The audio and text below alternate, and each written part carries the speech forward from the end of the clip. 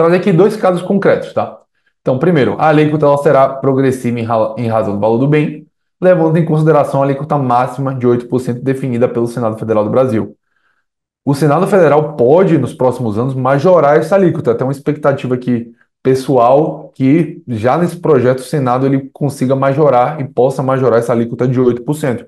Por isso que muitas pessoas estão combinando, falando que esse é o ano do planejamento sucessório, para que você possa aqui beneficiar-se ainda da alíquota em São Paulo de 4%, que é uma alíquota quase 50% menor em razão do valor do bem.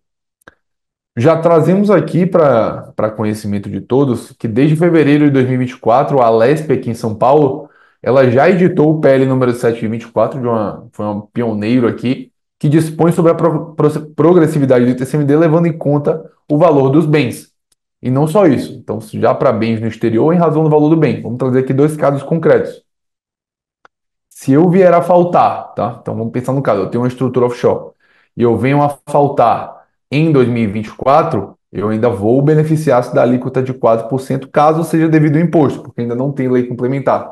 Mas vamos ver, pensar um cenário que eu vou fazer uma doação em 2025 de uma participação societária, uma empresa offshore.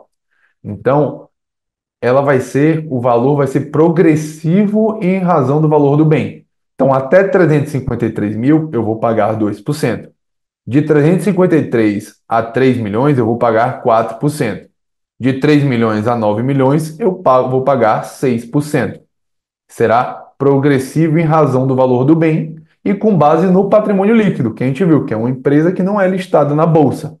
Fazendo isso, você vai ter aqui muito provavelmente um aumento da carga tributária, principalmente aqui se você tiver acima de 9 milhões, 10 milhões aqui de, de reais é, em participação offshore. Levando em consideração o dólar de hoje em dia, então o valor aqui é aproximadamente 2 milhões de dólares, você já vai estar enquadrado nessa alíquota de 8%, que pode vir a ser majorada pelo Senado Federal.